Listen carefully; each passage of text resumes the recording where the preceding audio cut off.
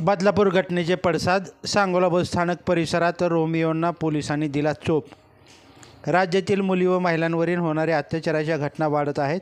या पार्श्वभूमीवर सांगोला बस स्थानक परिसरात शाळकरी मुलींच्या मागे फिरणाऱ्या रोड रोमियोंना पोलिसांनी चोप दिला असून यामुळे सांगोला शहर शाळा कॉलेज व महत्त्वाचे म्हणजे बस स्थानक परिसरातील टोळक्याने फिरणाऱ्या रोमियोंना पोलिसी खाक्या दाखवून रोड रोमिओवर चाप बसवल्यामुळे सांगोला पोलीस ठाण्याच्या कर्तव्यदक्ष पोलीस निरीक्षक ओबाळे मॅडम यांच्या कामगिरीचे प्रवासी व नागरिक यांच्याकडून कौतुक करण्यात येत आहे.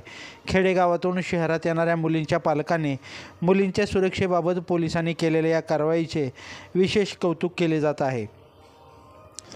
लाईव्ह महाराष्ट्र झोन न्यूजसाठी अनिल गिरीधर खांडागळे.